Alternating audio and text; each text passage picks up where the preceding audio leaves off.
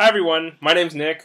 I'm an electrical engineering student at Stanford University, and this is the first and what I hope will be a series of videos discussing various medical technologies.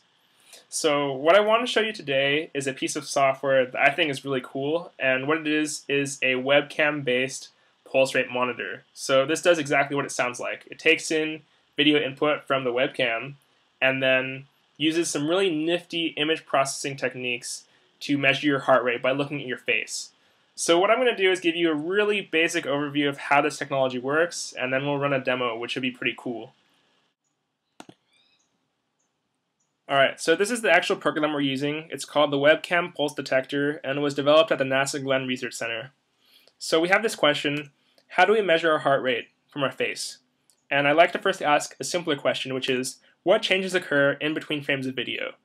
If you think about a video as a series of images lined up next to each other, what's really changing is that the colors change at each pixel from one image to the next. And this is exactly what the software uses to measure your heart rate.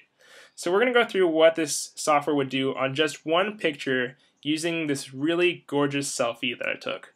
So what happens is that the software first looks and finds out where your face is. And then from that space, it determines an area which it thinks your forehead will be at and then it removes the red and blue components of the image so that it's only looking at the greenness. And what happens is that it just measures the amount of green in that little square, and as the green goes up and down, that's the same rate that your heart is beating at.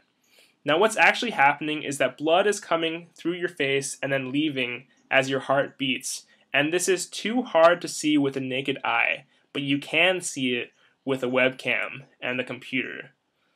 So what happens is that greenness goes up and down, and there you go. You have your heart rate.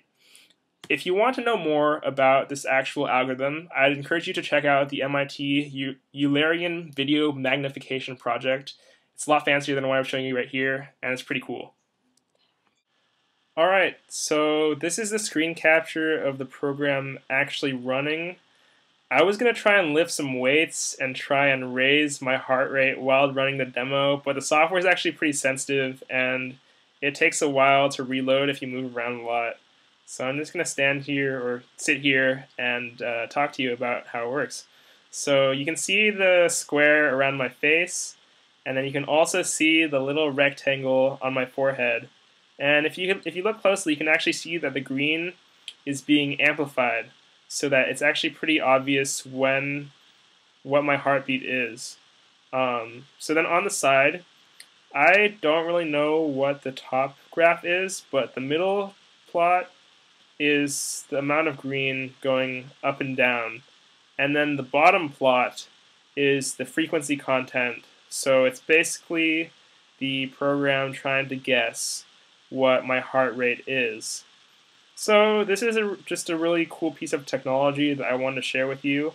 Um, there's a lot of things that this could lead to. I know that MIT is actually doing research to try and see if they can also monitor your blood pressure via video, and that would be pretty cool. Um, I also think that once this technology is perfected, you have a really good system for a low-cost heart rate monitor um, and then there's also other cool things you could do. Like you could try and make an app for lie detection that takes people's videos and measures their heart rate in response to questions.